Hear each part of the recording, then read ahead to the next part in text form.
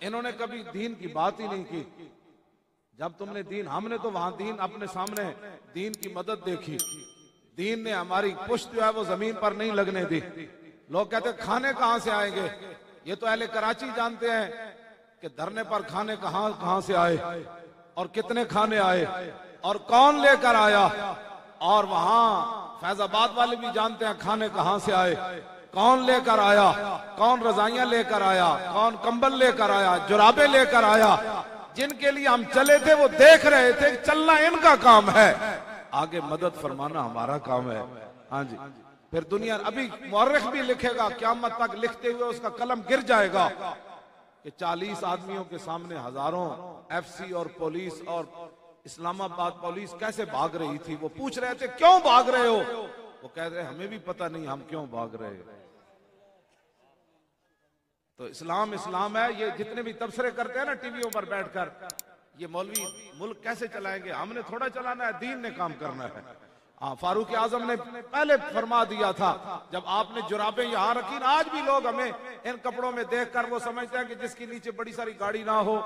और जिसके पीछे प्रोटोकॉल ना हो, हटो, बचो ना हो, उसकी बड़ी बिरादरी ना हो, ये मौलवी क्या करेंगे? मैंने कहा, मौलवियों ने कुछ नहीं करना। जिस दीन को हमने ऊपर तख्त के लाना है ना, मेरे आका ने फरमाया, उसका दिन भी दिन है और रात भी दिन है। मैं उस दीन की बात करता हूँ। उस पर जब रात है ही नहीं तो बातें लोग क्यों करते हैं? तुमने कभी दीन को तख्त पर बिठाया? तुमने कभी मोहम्मद अरबी के दीन को अदालतों में लाया? एक बच्ची की आवाज़ पर मोहम्मद बिन कासिम समुद्रों में जहाज़ डालकर सिंध के साहिल पर आ जाए। और लाहौर से चालू किलोमीटर है कसूर। हुक्मरान लाहौर में बैठा हो तो चालू किलोमीटर पर बच्ची छोटी जो है, उसके साथ रैप हो जाए और उसे कत्ल कर दिया जाए। और 40 किलोमीटर के बाद रात की तारीखी पिछले पैर में हुक्मरान उस कसूर घर आए।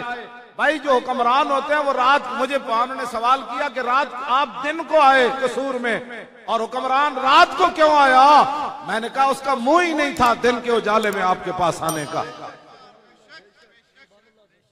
तो मैं जिस इस्लाम की बातें करता हूँ, वो इस्लाम जो है, वो मोहम्मद बिन कासिम को भेज देता है सिंध पर, एक बच्ची की चीख पर। और सैकड़ों बच्चियों की चीखें कसूर में लोगों ने सुनी। साल में बारह बच्चियों के साथ ऐसा मामला हुआ। तो अब ये कहते हैं कि जनाब, वो मुझे अगर मगर नहीं चाहिए। मैंने कहा, ऐसी बात नहीं है। जैसे तुम्हारा ऊपर वाला मिजाज है, तुमने अपनी बच्चियों की सुदागरियाँ की, तुमने अपनी बच्चियाँ बेची, कतरी शहजादों को तुमने अपना वतन के ज़मीन देकर उनके अयाशी के सामान मुहैया किए। तुम किस मुँह से कसूर की बच्चियों की हिफाजत कर सकते हो? कसूर की बच्चियों की हिफाजत तो मुसलमानों की वो फौज कर सकती है।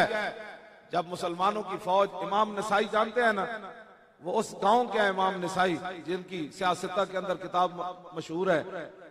उस गाँव के अंदर जब मुसलमान फौजें गई हमला करने के लिए तो मर्द सारे भाग गए। तो जब मुसलमान फौजों को पता चला कि वहाँ तो कोई मर्द रहा ही नहीं तो उन्होंने ये नहीं कहा कि चलो घरों की औरतें हैं, आज अकेले हमारे हाथ चढ़ गई। मुसलमान फौज आँख झुकाकर उस गाँव से वापस आ गई।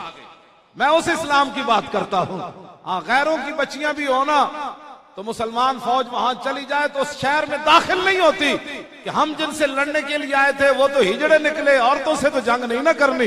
हाँ जी तो हम जो, हमने जिस नबी का कलमा पढ़ाया, उन्होंने तो ये फरमाया, हज़रत जरीब अब्दुल्ला अल बजली ने पूछा, हजूर, अचानक नज़र पड़ जाए गैर मारम औरत पर? फरमा इसरे बसरा का फैनमा लकल उला का सानिया फरमाया, दोबारा खैर मारम औरत पर नज़र न डालना। पहली तो रब माफ़ कर देगा, दूसरी माफ़ नहीं करेगा। मैं जिस दीन की बात करता हूँ, वो दीन गैरों की बच्चियों की हिफाजत के लिए भी अपनी फौजों को वापस भेज देता है। और तुम जिस बातें करते हो, स्टेजों पर गैरों की बच्चियाँ तुम्हें शराब की बोतलें पकड़ाएँ तो तुम आगे कपड़ा रख के पीते हो। और फिर हमें कहते हो मौलवियों के हलवे को खतरा पड़ गया मैंने कहा ना ना हमारे हलवे को कोई खतरा नहीं है हमारे हलवे के अंदर सूजी होगी और घ्यो घी होगा वो भी डाल्टा पड़ मिल जाएगा लेकिन हमारे हलवे को कोई खतरा नहीं खतरा है उन तुम्हारे करतूतों को जब इस्लाम आएगा तो पूछा जाएगा कि सैनमे के टिकट ब्लैक करता हुआ आदमी महल का मालिक कैसे बन गया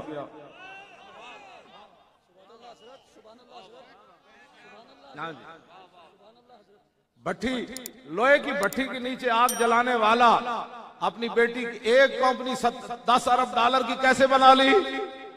ये इनको ये खतरा है। इंशाल्लाह आप बिल्कुल बेफिक्र रहे। आप दीन का काम करें, इन्होंने खुद भाग जाना है।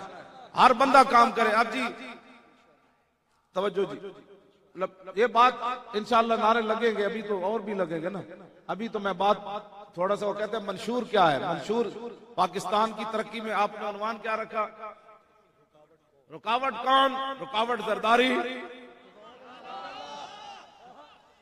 हाँ जी, रुकावट जिसको आपने लंदन के अंदर जलावतन कर दिया, रुकावट वो था।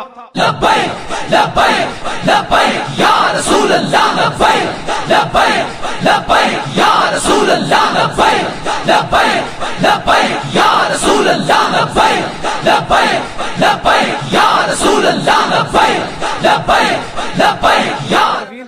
भी तनहा ले जाया जाए ना, मैं खुद भी व्हील चेयर चलाकर अपनी रहश गाह पर यहाँ से चला जाऊँ तो कराची में इतना मना है कि मुझे कोई गोली नहीं मारे। हाँ जी।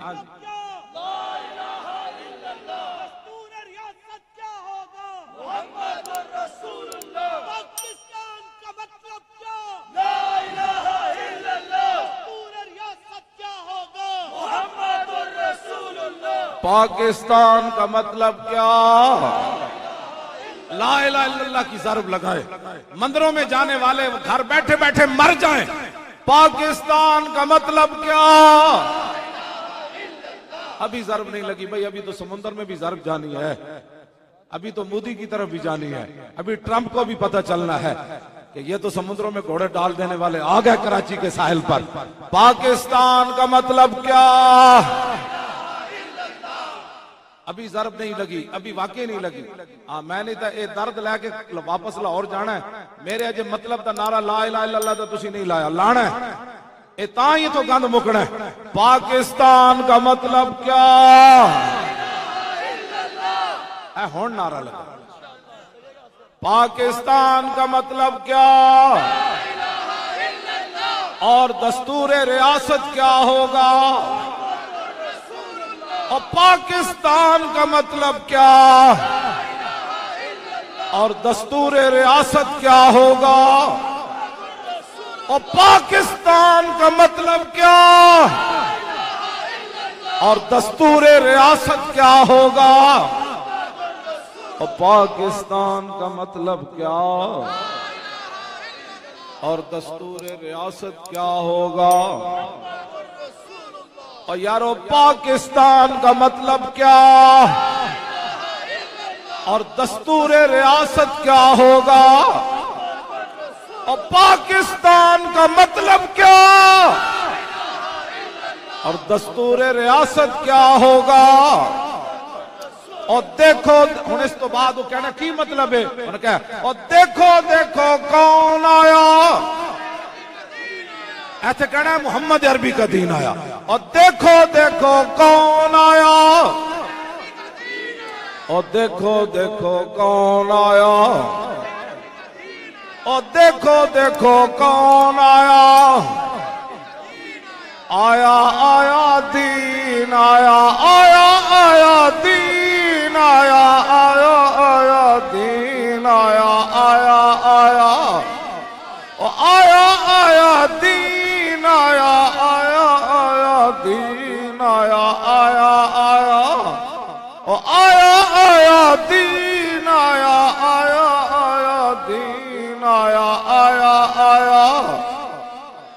दीन आया, पूरा सिंध लुट के पूरा सिंध लुट के थर दे बच्चे दुध भी ना मिले। मैं जिस दीन की बात करता हूँ, वो हज़रत उमर के दौर में बच्चे रोए, वो दीन इतना बुलंदो बाला है जो हज़रत उमर की पीठ पर बोरी रख के रोने वाले बच्चों के घर पहुंचवाता है। वो दीन आया, देखो देखो कौन आया। यतीमों की जायदाद पर डाके तो दरकिनार मैं जिस दीन की बात करता हूँ, वो दीन ऐसा है अफजल खल्क बाद रसुल सैदना सिद्दीक अकबर का जब विशाल हुआ तो साहबा तो रो ही रहे थे ना। एक बच्ची आपके घर की चौखट को पकड़ के रो रही थी। साहबा ने पूछा, छोटी सी बच्ची, तुझे क्या हुआ? मैं कहा, मुझे कुछ भी नहीं हुआ, आप पता नहीं क्यों रो रहे हैं? मैं अभी उस शऊर को तो नहीं पहुँची। लेकिन ये मुझे पता है, जब से ये खलीफा बने, हम यतीम, बच्चियाँ हैं। तो रोज़ाना सिद्दीक अकबर हमारे घर में हमें पूछने भी आते और हमारी बकरियों का दूध भी निकालते थे। और देखो देखो कौन आया। और देखो देखो कौन आया। और देखो देखो कौन आया।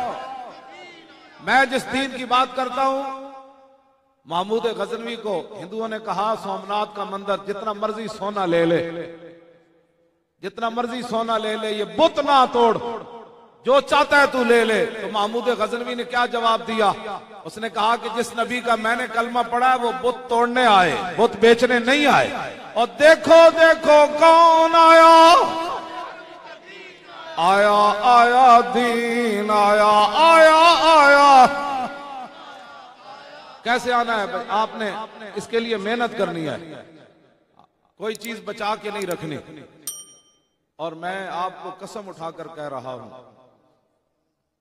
मैंने अगर इस्लाम को एक रुपया दिया ना तो इस्लाम ने उसके बदले में मुझे हज़ारों रुपए दिए। और नक तो नक दिए। मुझे नहीं आज तक समझ आई कि जो आदमी कहे, मैं इस्लाम को देता हूँ, फिर इस्लाम कुछ नहीं मुझे देता। मेरे जैसा आदमी व्हील चेयर पर बैठकर, मैंने बिल्कुल नक तो नक हमने क्यों जी, फैजाबाद में इस्लाम ने हमें वापस नहीं दी? मैं तुम ये ना क्या मत तक लोग कहते रहे, उन्होंने ठंडी हवा भी खाई, फिर इतनी कुर्बानियाँ भी दी, उन्हें फिर इस्लाम ने क्या दिया? पूरी दुनिया को ट्रंप तक हिल गए। उन्होंने कहा, इन्हें तो कुरून उला की याद ताज़ा कर दी। और ये किस पावर से गए? पूरी आपने पूरे पाकिस्तान को ऐसे जाम नहीं कर दिया। किस पावर से किया? आपने गोलियाँ खाकर भी पीछे मुड़कर न देखा। बल्कि यहाँ एक मौलाना के बारे में मुझे बताया कि जब वहाँ एयरपोर्ट के करीब गोली चली तो हज़रत मुफ्ती साहब घर चले गए। मस्जिद में जाकर ऐलान किया। अपने बच्चों को कहा कि अब मैं शहीद होने के लिए जा रहा हूँ। गोली चल रही हो, फिर बंदा तैयार होके आ जाए। गोली सुनकर, आवाज़ सुनकर लोग भागते थे।